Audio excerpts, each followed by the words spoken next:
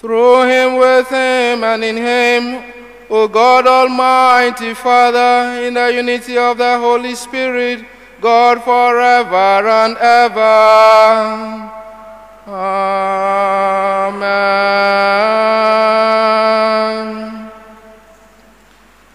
Let us now pray to the Father in the words our Savior gave us. Our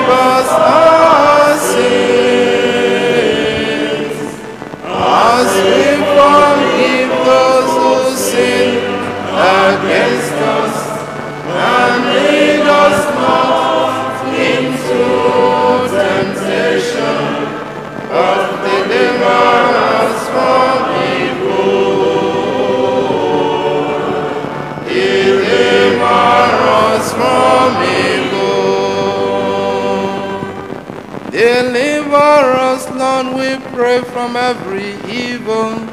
Graciously grant peace in our days, that by the help of your mercy we may be always free from sin and safe from all distress as we are with the blessed hope and the coming of our Savior, Jesus Christ.